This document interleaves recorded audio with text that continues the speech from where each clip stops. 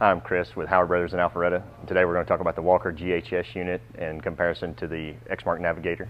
These particular mowers are considered out front mowers as opposed to the, the more traditional mid-mount mower. Um, they're still a zero turn, but uh, they have a, a, grass handling system, uh, bagging system behind them, uh, and the deck is out front as opposed to mounted underneath. One of the mowers we sell here at uh, Howard Brothers is the Walker Super Bee. Uh, this is a 52 inch cut rear discharge mower. Uh, it's 27 horsepower.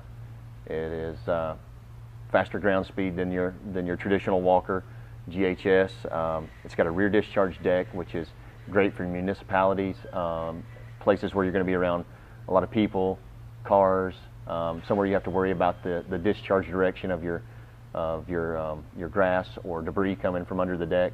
Uh, it pushes all that back under the mower so that you you have uh, a lot less to worry about when it comes to, to vehicles and people. Uh, it's a, uh, like I said before, it's a faster ground speed than the, the traditional GHS system. It's got a bigger engine. It's just a, an all-around beefier built mower than the traditional Walker.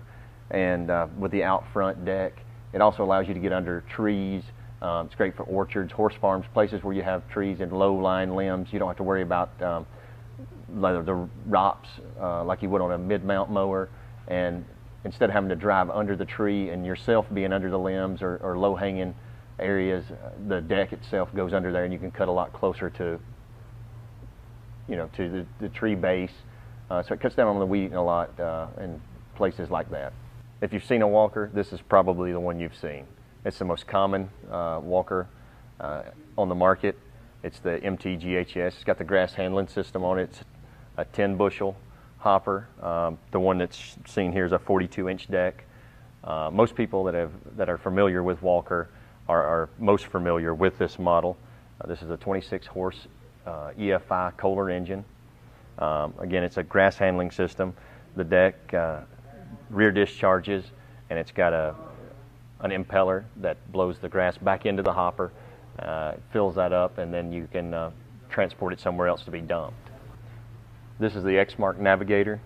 Uh, it's their out front mower. It, uh, it is a grass handling system. It's got the 10 bushel bagger in the back, a 10 bushel hopper in the back. Um, this machine is specifically made to compete with the Walker MTGHS. Um, it has 50 horsepower rated gearboxes on the deck. Um, it's uh, an 8 mile per hour ground speed.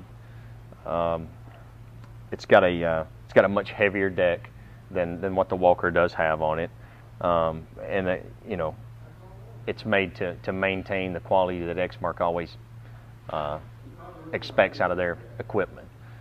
It is uh, it is a lot like the Walker um, in respect to the way the control steering controls are, um, the grass handling system.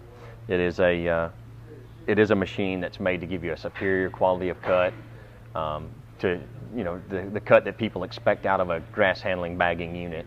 Um, this mower is specifically made to to give you that quality of cut that you've come to expect from a grass handling unit.